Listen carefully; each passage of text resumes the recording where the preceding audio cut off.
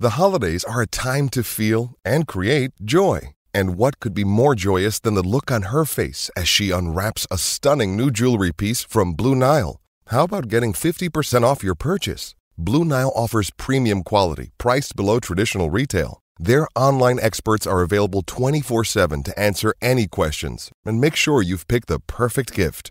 For a limited time, you can get 50% off at BlueNile.com. That's 50% off at BlueNile.com. Tis the season to shine with H&M. Discover the holiday collection and find fashionable pieces for your wardrobe or for under the tree. Get inspired and dazzle with this year's glam. From tuxedo styles, bow detailed pieces, impressive prints, and more. From unforgettable looks to unforgettable gifts. With fashion finds to home decor, find it all at H&M. Treat your loved ones and yourself this season. Shop in-store or at hm.com.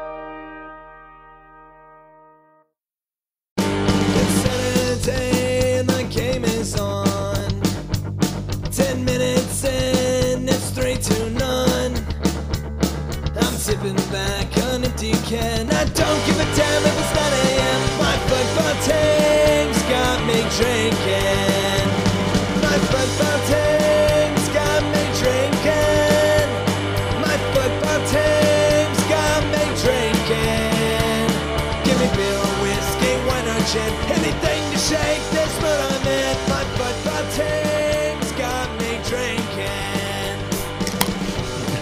it again with another shade of blue. My name is Cody Bradley. I'm here with Thad Bell and Robert Russer. Are you guys ready to do this thing? I am so ready. We need it. Yes, yes, I'm ready. And yes, let's do this. Okay, 2020 MLS conference alignment. Isn't it crazy? It's gonna be 2020. It just is. Just It sounds I had to like the throw that out there. It does. It It, does still- sound like the. fu- It still This is, is the future, but man. it, does sound like the future. It right. does sound like the future. How many movies have we watched that took place in years past? I know. I didn't. I never thought I would be this old. I never, like I never thought of it. I'm only 30, but I, so I just never thought of that I would. You know, I never thought about this. Like things will be old. I'll know old things. Dang, Cody, you're 30. Wow, I really didn't know that. Because we Yes, passed what? Back to the Future in the future. We passed the Blade Runner date. Oh, Yeah. did we? Okay. Yeah, and What's I the Terminator that, date? I, I know that just because of the Tesla truck reveal was like the same day. Oh, isn't that thing ugly? Anyway, It's so bad. God, I the hate it. Mustang thing is worse though. I, I kind of like that one. Do you really? Oh, mm. Mustang thing? truck, They did an all. SUV or truck, SUV-ish. Yeah, yeah. Oh, yeah. Blue, I I think about it's that. nice. All electric. It's it's it's nice. Yeah, it's it, no, it- it's it's better than the Tesla looking truck, t- Tesla truck thing. Oh, I hate but it. it, it that looks so much like. Have you ever seen like that old bad TV show Buck Rogers? like in the 80s, I have okay? not seen, seen that. That was like a futuristic vehicle they would have been driving around in when they were out like roaming the Badlands or something. It, that lo- that's what it looks like. That's where he got the design inspiration. I swear. I'm. I love Tesla and Elon, and I was like so excited for it. And that thing came out, and I was like, oh, I hate it. I oh. hate it. I think the letters need to be bigger on the front too. no, they're Right. they're huge. but I do love the bulletproof glass. Yeah. You yeah, saw that, and right? see, it's like I was so impressed the first demonstration with the windows. Like they they were dropping those metal balls Yeah. on the window, Right, and I was like, yeah. "Dang, that looks awesome!" And then they just it looked like they just went a little too close to the sun there. Uh, okay. Anyway, 2020 MLS, the future is here. Miami to the east, Nashville to the west.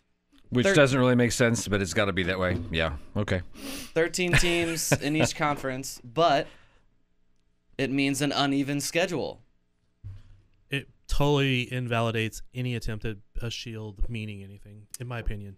Wow, it, that it already it already didn't mean a lot because of and you know one side would play each team twice and the other side only once and all that type of stuff.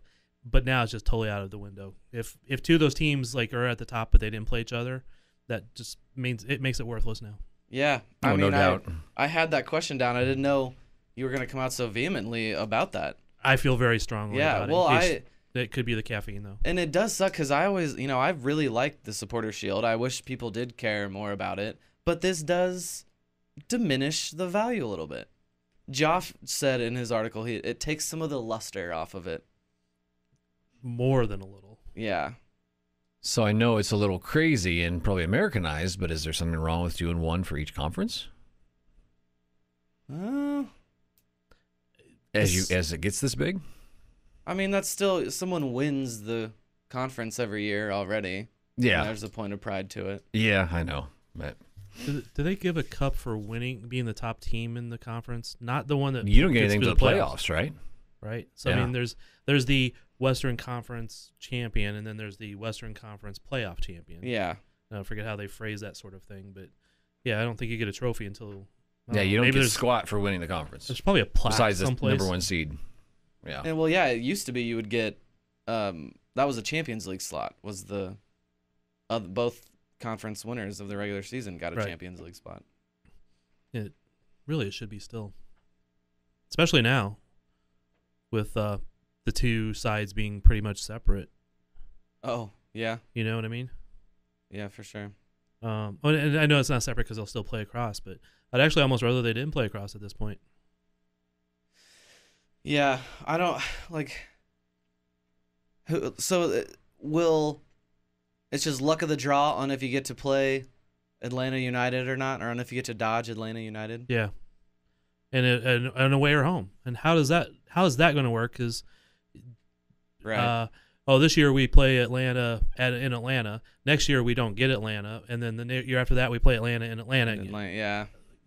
Right. yeah, it just right, causes yeah. so many different. Well, there's other teams coming in. Yeah, so that, it's The got to change even yeah. even more at that. But so they're going to go up to thirty. Probably Charlotte coming in is the latest, very very very strong rumor. Charlotte will be the thirtieth team, and then they'll pause. Mm-hmm. right? So I, I almost wanted to go to three divisions at that point. Yeah, we were I we were kicking that around briefly today in the Slack group I saw. Yes, Yeah, that's good. That's a long conversation though. I was trying to just generally rough out which teams would go where. East Coast is relatively easy. The West Yeah. Coast, it's like the I, I- I'm trying to remember how it went, but it, it just didn't quite work out for the middle and the West. Well, so, As yeah, I was gonna say. So that's what it is. It's east, west, and middle, and Well- center, central. Midwest, It's um, Central, yeah. Yeah, but that's that's that's the hard part is how do you do it? I mean, How you could- about how about north, central, and south? There you go. then you wouldn't get any benefit from less travel. Yeah, that's true. Oh God, yeah. Man. but some teams are going to get screwed because, uh, like me, I when I started doing the the East, I just started in Florida and started counting up, right? And then I get to the top, and I'm like, well, Toronto, okay, Yeah, you're in the middle now, dude. right. It so it just doesn't work out quite perfectly. That should be MLS's slogan. It doesn't quite work out perfectly. Now, if they if if it wasn't Charlotte and it was Phoenix or Las Vegas, right. it would work out better, I think.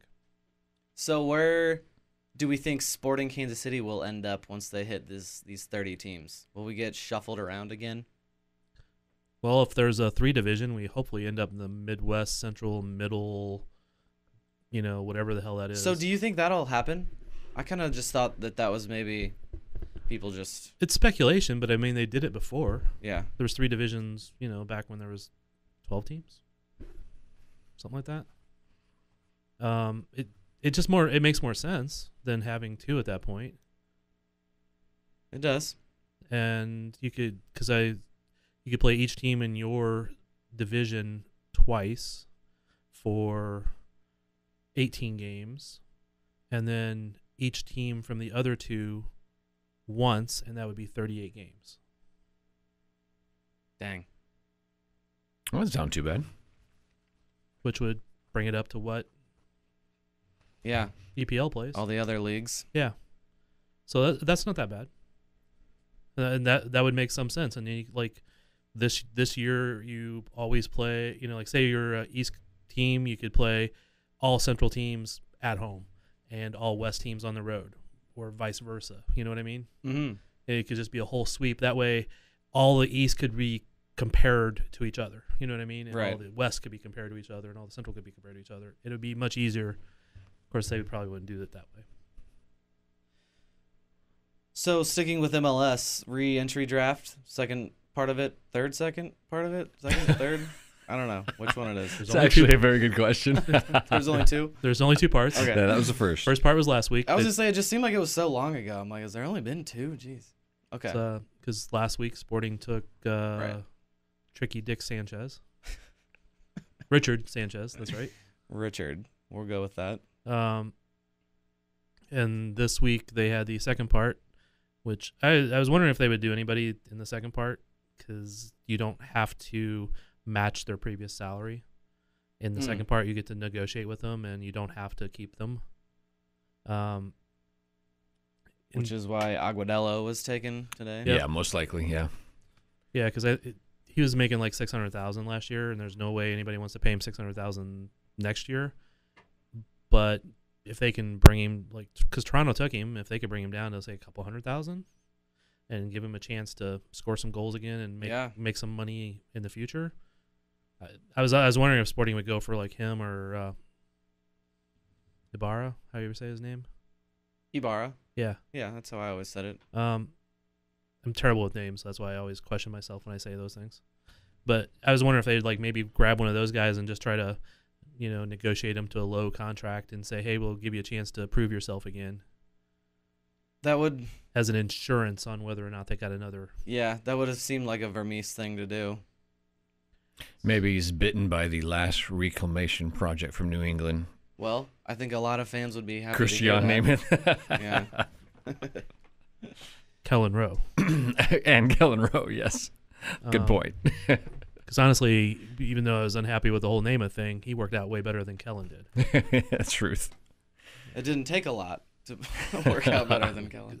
Because as much as we slam Nemeth and nice guy Nemo, I really wish you lots of luck wherever you go. But he did score a dozen goals last year, which is not a terrible number. Yeah. And wasn't Rowe in this draft too?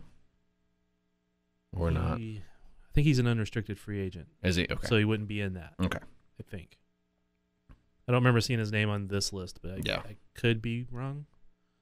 So he could end up anywhere. As as one person described him, he was a really good MLS 1.0 player, Exactly. but not a 2.0 player, and definitely not, Not a a three 3.0. point. Oh. Yeah, say point. Point sounds cooler. Not not one dotto. Right? Am I wrong right. on this? It's No, you're right. point. You're definitely right. Um, okay, how about before we go to break here, Thad, what is going on with the Comets right now? Tell us about the Comets. That's right. We do cover the comets, don't we? I I didn't forget that. Uh, they played their second game last weekend. Uh, first game they lost in Turlock. Second game they won at home. Turlock. Turlock, California. Ah, yes, the indoor soccer powerhouse of Turlock. Well, you know that's kind of funny because um, Did I nail that? Huh? Did I just nail that? Are they a powerhouse? Thad's about to let you know. it, it, it is a little interesting. Last year Turlock pretty much sucked, and they play in pretty much a rec arena. Okay, I mean Oh, it's okay. not like a real arena. So during parts of the game when it's when they're showing one end, you can see the other rec field over there and like youth Mm. teams playing. nice. So, you know, you could go like to your kid's game and be standing there next to the professional game behind you, right? A true community feel. Yeah. so it's uh All right, I like that. I feel I don't I don't like that I was talking shit. and last year I remember watching some of their games and I was like, okay, I could outrun that guy. All right. And there were some guys who were not in shape playing for them. Uh, but the funny thing is when Kansas City went there and I'm looking at like some of their guys playing, I'm like, yeah, they still don't look like the like slimmest and trimmest, but they had some good players also. But ended up that they ended up winning that game uh, in overtime. And The Comets did. no, Turlock did. Comets took a bad, stupid penalty. Too many men on the field penalty in a uh, after a sub, and that's probably attributable to new coach, different bench coach, and people like that just not being all totally in sync. But anyway, they scored on that power play. Turlock did to win it, and I was like, oh man, that's bad. A lot of people are like, oh, that's terrible. Comets losing there, right? Well, then Turlock turns around two days later, goes to San Diego, which is a indoor soccer powerhouse. Mhm. San Diego Sockers have won like 799 league championships or some BS like that. Donovan's Donovan played there, yeah. Yep. Steve Zungul back in the day. Um, they are that powerhouse, and Turlock went to San Diego and won in San Diego. But now the real irony of that, Turlock is owned by the owner of San Diego. Oh, nice. he bought them to save them to keep them in the league and loaned them some of their development players and their development players went to san diego and beat them that was a little embarrassing So, does Turlock have any Stan Stamenkoviches by, by chance? You said they're a little out of shape. You know, Stan was out of shape. um, so anyway Comets I was, I was about to say I gave you some time to talk about Comets, and we talked about Turlock. I know. I was trying to get back to the Comets. Uh, they played St. Louis Ambush last weekend, and they won six four. Uh, Fierce rivalry that. It yeah, it actually is. They- Yeah, I kind gotten of to- actually knew that one. they uh they got in a good little altercation last year, and there was a little Oh, altercations this year too. I remember. in this game. Um, the they were they uh f- some fans and one of the guys on the bench was yelling at the ambush keeper, and he came over to the bench to have a little chat with the and Nice. the Comets head coach and star player Leo Gibson grabbed him and like basically pushed him away, which then caused a little uh, soccer scrum of people Mhm. around him. Which all, we, we we call that an almost fight. Yeah, it was a lot of like posturing and Yeah, chest puffing and all chest that stuff. puffing, right? Um, but so anyway, one of the interesting thing about the Comets this year is they have lots of former Sporting Academy kids, it- several of them. Uh, Ray Sari, Ray Lee, and um, Matt Lewis, who actually played for Swope Park, not this season but last year, and was a, one of the homegrown players for Sporting. Is um, is Hector's son? Yes, That's I was like, I, maybe I'm misunderstanding that. I was thinking that was Hector's son was playing. Hector, the famous Calder Knight. yeah, His son is on the Comets now. yeah. Hector, his son Hector, Hector's son Hector. Hector Hector Jr. Yeah. I assume. Uh, and That's so- cool. And he got some time. I mean, he, He's, he's, a keeper, yeah. No, Oh. Okay. he's not a keeper. Oh, I saw another a video of another another keeper. Then go on. Yeah, he's not. He's definitely not a keeper. Okay. But uh, no, he did all right. He's he's young and he's got to adjust the the speed and all that stuff. Where like the other three guys I was mentioning have all played in the USL. Ray Lee played for a couple different teams, and last year was in Hartford under Jimmy Nielsen. Ray Sari was in uh, Seattle, played for the Sounders two, and then Sacramento USL team. And Matt Lewis played for Swope Park, and then la- this last summer was playing for the Cosmos semi-pro team. But uh, those guys all like did well. Matt Lewis scored like two minutes into the game. Ray Sari scored. Ray Lee scored. Uh, Nice. And then some of the rather normal comments. now, I asked because a friend posted on Facebook was Vlatko at the game? Yes, Oh, okay. Oh. he was. Just at talk the- to him. Uh, just uh, talked to him a couple days before that, and then that day a little bit. But uh, it was he was actually at the Comets practice earlier in the week. Oh, okay. So I kind of joking that Leo had a uh, assistant coach in Vlatko. cool. All right.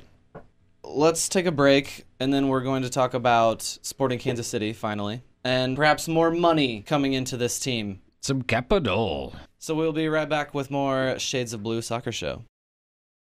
When it's a football night, when it's a football night, we can gather all our friends all around the Zoom. That's not a better thing to do. When it's a football night, when it's a football night, when the final whistle blows, we're gonna celebrate tonight. When the final whistle blows, we're gonna celebrate tonight. When the final whistle blows, you know we're gonna feel alright. All right, injection of capital. Our friend, friend of the pod, Daniel Sperry, revisited the sporting or the Peter Vermes interview from last week, in which he used those words, an injection of capital, capital, and indicated that they're willing to, that they know they have to jump several tiers in spending. Not And now- exactly the wording. Well, close, close. Not exactly the wording. so, But that, so that it would allow was- them to go up one, two, or three, even or th- even three tiers. Three tiers is like, okay, how not bottom basement were we before, but how mediocre were we looking before? So yes, this was uh, last week in the Kansas City Star, and there was a lot of I I saw it in the Cauldron Facebook page, a lot of cynicism around that post.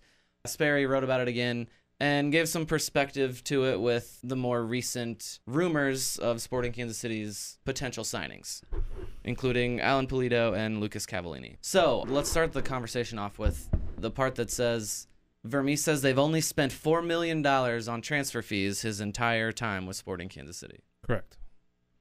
Now I know they're all about the free transfer, but damn, that is that is wild. That is crazy, wild, weird, wild stuff. And especially when you look at, you know, the transfer values of both of those players we mentioned are right about there or higher. They're higher. They're both higher. and it's like I mean, so you know, it might not happen. We're used to that with this team. They still have to convince them. But the sentiment of on, on seeing this, you know, on Reddit, it, the same thing when this was posted. Just a lot of the cynicism, like, oh, we've heard this before. No, we haven't. This is different in that, you know, it used to be, all right, we were trying. We we hope it happens. Here's why it's hard. And now it's look, we know we know we have to jump tiers in spending. We know this, you know, he Vermes mentions 3.0. It's an actual willingness here and knowledge that this league could pass them by if they don't start spending. So something is at least kind of different. Oh, it's definitely different. Um, yes, Ramiz would always talk about trying to sign that elusive number nine or ten or whichever number you wanted to throw out there for that particular year. Almost always a 9 Mm-hmm. Um, but yeah, he was always trying to find a way to make it work that didn't wasn't overspend because he was very, very, very frugal. And I'd always actually heard that the owners were wanting wanting him to spend more. Yeah, that was what the story used to be, and Um, that's But then in that one article when uh, Mike Illig talked to Sam, mm-hmm. the former Sam McDowell, the uh, he he basically yeah he he admitted that he actually stopped uh, Vermes from trying to yeah. purchase a better striker in 2018. Yeah, that was the first article in this philosophy change, at Right. least that I was noticing.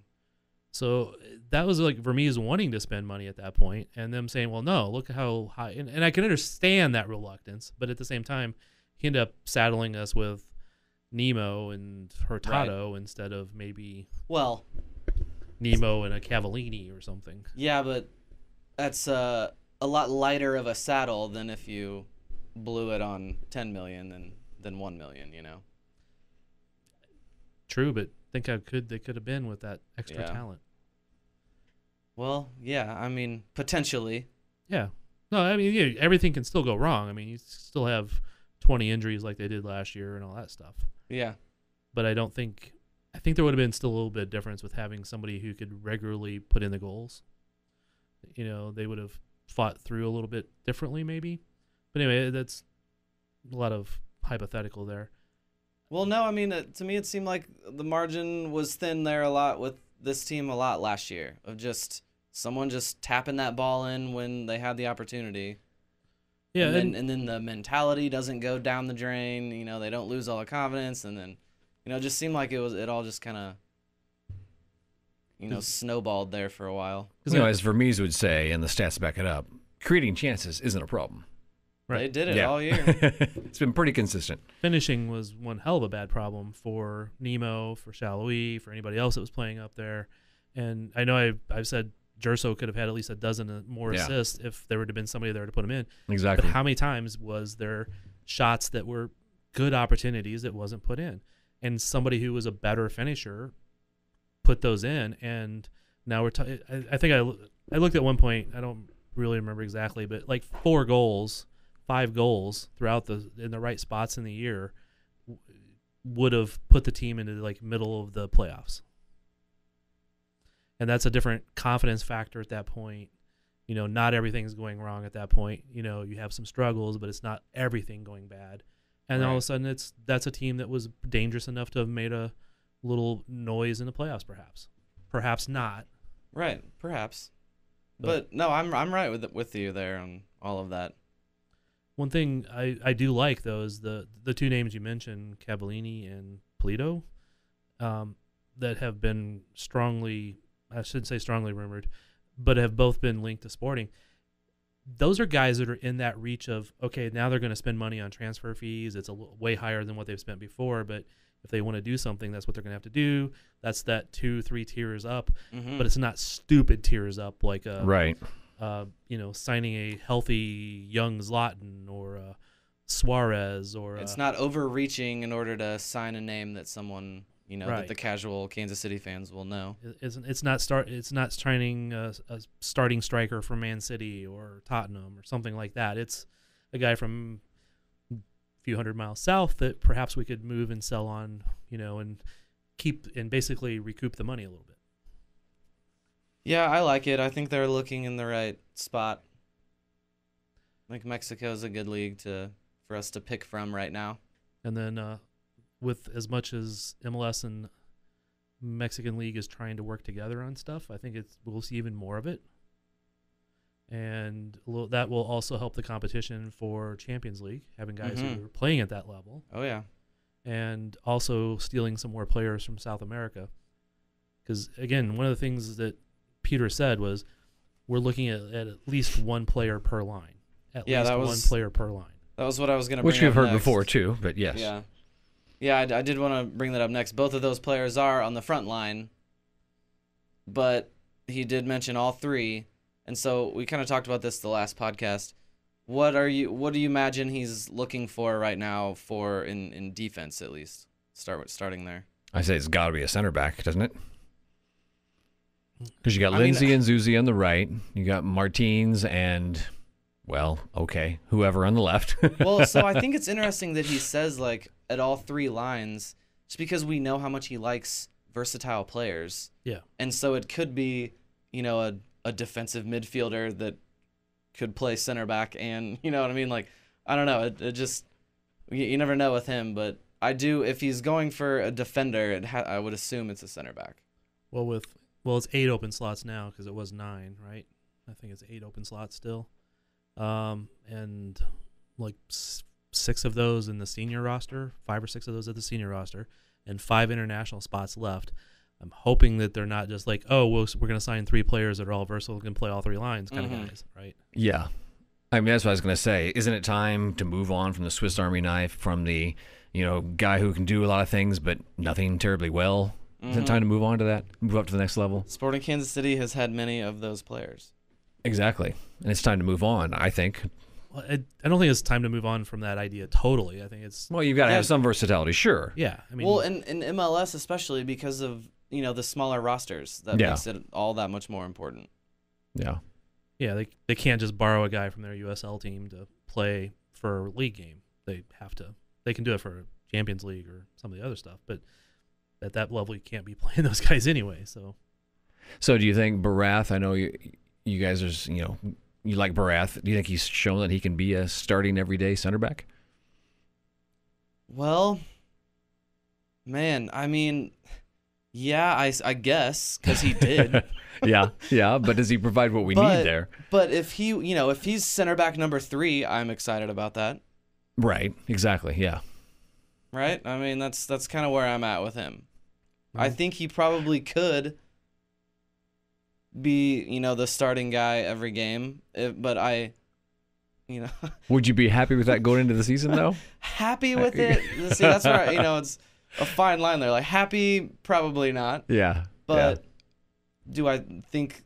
Oh man, I don't know. Mm. I, I don't think it would be a disaster because I really we that's what we talked about last time. I want, I, I'm fine with if that's someone on the back line is brought in as a young center back prospect. uh huh. Yeah. I'm fine with that also. but as long with as we have hope- that number nine we're supposed to get, Well, then yeah, you're going to be yeah, happy. yeah. Okay. Yeah. Is it all in that context? I just yeah yeah right. I just with the idea that that young center back would uh, challenge Barath for Right, the right. job at some point. Though not that much of a project. Notice we're not mis- mentioning not that far away. Anyway. Although although I know the at least the two most recent ones he's tried that with like Watubaye and Amor were very short experiments. And I feel like there's another one. Am I forgetting another one? no, I think that's more or less it. I don't think Amore was supposed to be a project though. He was supposed to be a starting level center back for depth. I mean, he wasn't Yeah.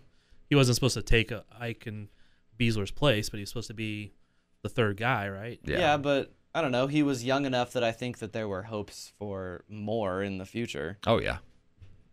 I don't remember his age quite honestly, but I didn't I didn't I didn't really see him as being like that was- young like- prospect guy. Yeah, it wasn't that. I feel like he was maybe like 22 or something like that. But um Guatabaye was supposed to be Yeah. the potential, you know, bring him in, see how he feels and you know, like a rental car, run him around for a while and see what happens. All right. So what do you imagine he's looking at in as a midfielder? Mm, Roger Espinoza's younger brother? No. Man, if that existed. I know. Yeah, I I, mean, it- I I pretty think much it- think you're right. Um, again, it's this. This is a really tough question, and I know I'm. We'll probably discuss it every day until they've signed people. Yes. But who do you play where? Is does Felipe move back to the sixth spot because he actually the team played fairly well with him back there, um, but you hate to lose that ability. If you play Busio and Gutierrez up there, neither neither one of them is. It, I don't- know. It just doesn't. You don't have the a true ten, but Sporting doesn't really play with a true ten. You got to have a If you if that's the case, you got to have. I love Ilie, but without with everything going wrong last year, it's like all the all the flaws fell apart at that point. When it was all together, the it worked really well, but just one thing went out of whack and everything fell from there. Mm-hmm. Ilie, we always knew he wasn't fast.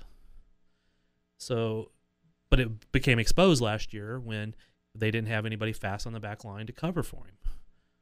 It, so losing Ike, losing confidence, losing injuries, all that stuff just made every single flaw exposed. So I don't know. I mean, I would love to have a six that's faster, but Ilie quality. And I don't know who that would be, and I don't know if they could get him, and that would be another, you know, million dollar transfer fee. Yeah. How about at any line someone who is over six foot? We need, we need more There you go. I like footers that idea. at least. That shouldn't be that much to ask. I mean, No, it's it not should that not. tall. I don't consider myself tall, and I'm like six one, and it's you know we we need some height. We need a big motherfucker out there to head the ball in. We need to be more dominant in the air, that's for sure. it just I this year, you know, we always kind of knew we were like a shorter team, or that was one something that we didn't have. But this year, I just got very frustrated by it. Like I'm so tired of this. Why are we always so tiny?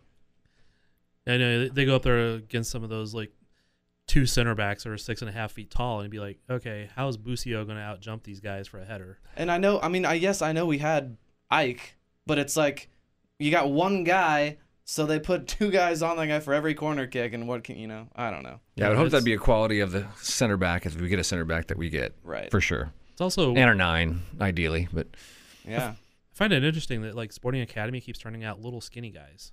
that does seem to be the case. I all mean, of them. None of them are big.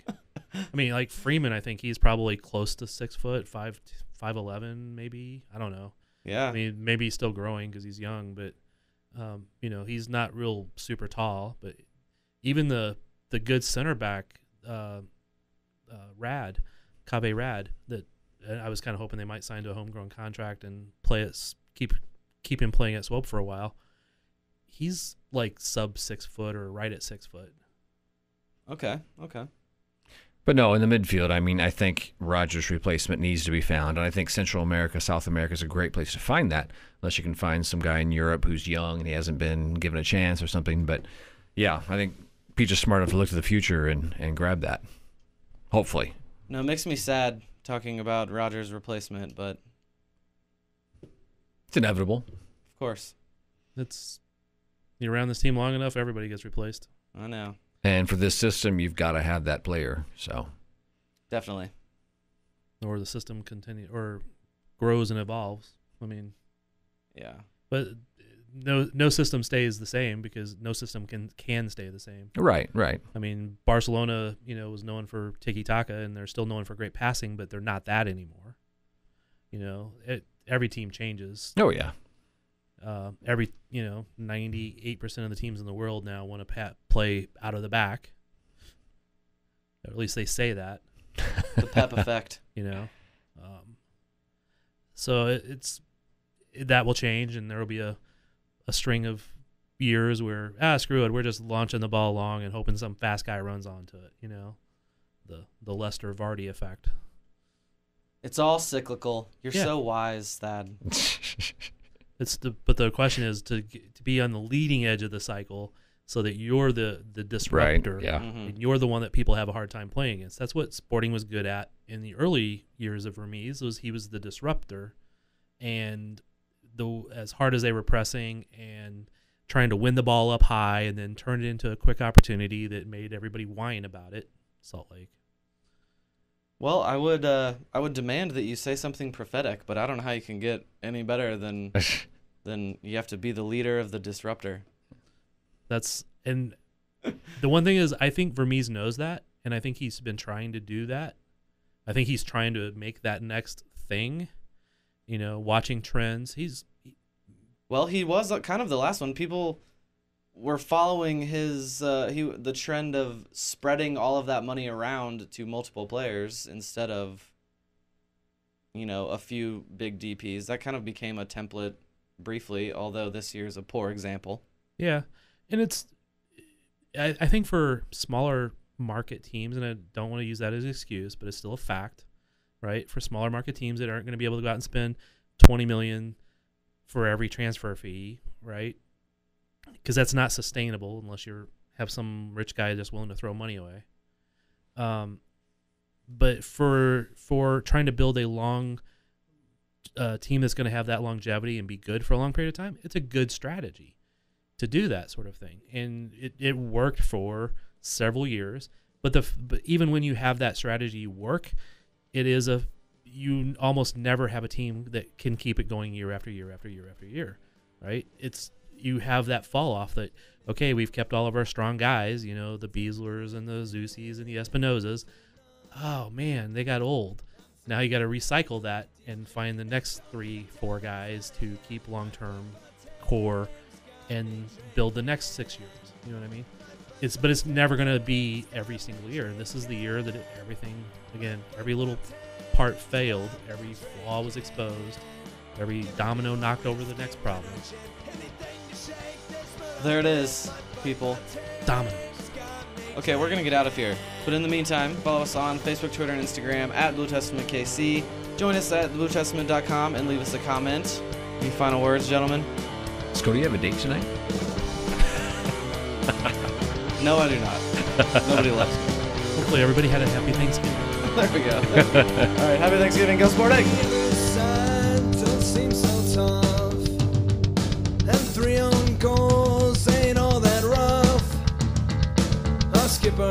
Just been sent off. Some part of strong all gone soft. My football team's got me drinking. My football team's got me drinking. My football team's got me drinking. Give me beer or whiskey, wine or gin. Anything to shake this mood I'm in. My football team's got me drinking. My football team's got me drinking.